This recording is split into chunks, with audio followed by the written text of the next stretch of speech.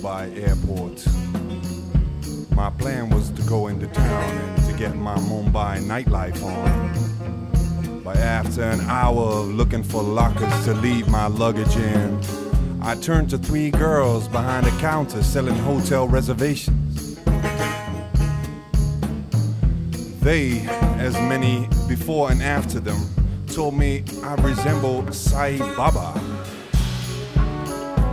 Turns out, Sai Baba was a legend guardian of the poor, also wearing a white cloth, also wearing a bandana, and also growing a beard.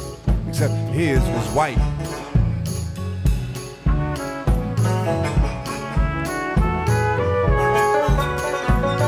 One of the girls gave me a laminated picture of him and she made me promise to take good care of it. I love.